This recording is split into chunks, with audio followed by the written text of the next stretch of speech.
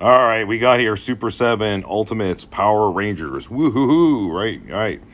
Skull, Bulk, Megazord, and Green Ranger Tommy, right? Tommy, right? I got Tommy, right?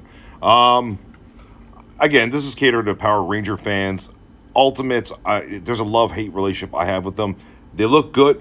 Um, articulations questionable at times. Also, their sturdiness, their feet can be sometimes awkward, and there's sometimes paint sloppy jobs on them, which is needs to be rectified ASAP by Super 7. I don't know if they've been doing it, but uh, for the prices they're charging, they really got to address that issue big time QCing with it. So out of them all, I think the Power Ranger glow in the dark green one, uh, Tommy, is probably the best one out of them all. I think Megazord looks interesting enough too.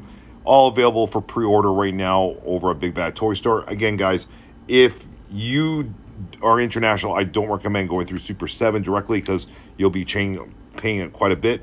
I would go through places like Titan Toys, Big Bad Toy Store. Check both out. I go. I usually shop uh, for Super Sevens, either one of them. Titan Toys is really good as well. Check them out, guys. All right. Take care. We'll see you guys next video.